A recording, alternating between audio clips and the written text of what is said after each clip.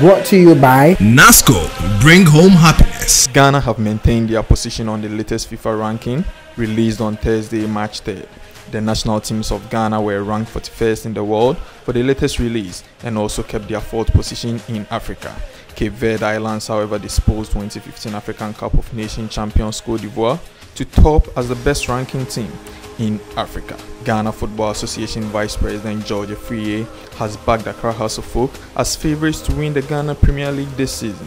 Kenichi Yatsuhashi and his men have six points from their opening two games so far, and Mr. Afriyie thinks they are on the right track.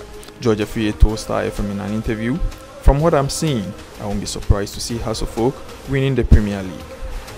Swansea City playmaker Andre Ayew has dedicated his team's victory against Arsenal on Wednesday night to coach Francesco Guidolin. The Swansea manager was hospitalized and missed his team's victory against Arsene Wenger's men. Andre Ayew tweeted, Great win, three points. This win is for our coach. Get well soon. Now time to prepare for Saturday. Thanks to all the fans. Former Kumasi Asante Kotoko coach Masud Didi Dramani has rejected an opportunity to coach Aduana Stars. Didi, in an interview with Kumasi based Metro FM, said, They approached me, but I had to turn the offer down due to my current busy schedule in charge of two national teams. I have a lot on my table, and that is why I rejected the offer.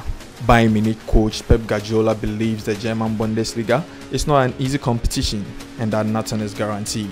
His comments come after his team lost at home on Wednesday night in the Bundesliga after 17 consecutive home wins.